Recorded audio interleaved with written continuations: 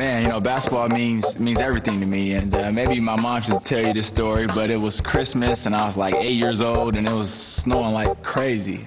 All I could think about was playing ball. And next thing you know, I was outside shoveling the driveway. You know, I put all the snow on top of the hoop so that way the wind wouldn't blow it over. And I turned around and my mom was standing there with a pair of gloves. And she kind of smiled and said, well, if you want to keep playing basketball, you got to put the gloves on. All right, I'll do it. You know, anything to play basketball. The House of Hoops by Foot Locker. It's pretty hard to shoot with gloves on.